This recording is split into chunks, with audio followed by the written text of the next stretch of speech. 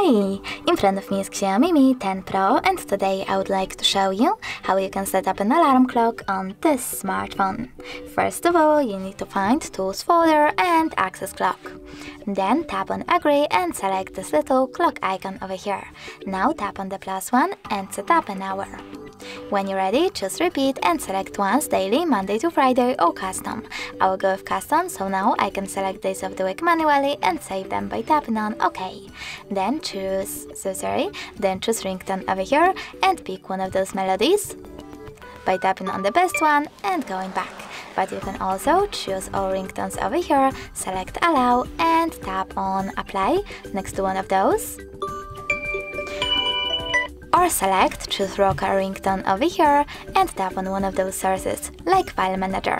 Then pick song from your device. I will go with that one and save it by tapping on OK at the bottom.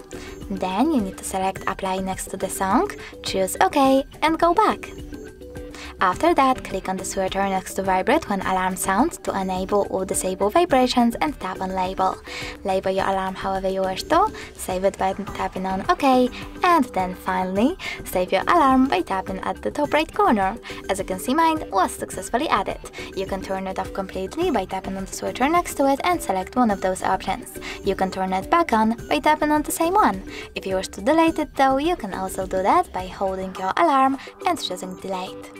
Thanks so much for watching. If you enjoyed this video, leave a like, comment and subscribe. Bye!